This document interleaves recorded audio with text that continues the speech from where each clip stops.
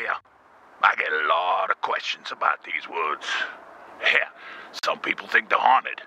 Some people think it's just the noises of the animals in the wind.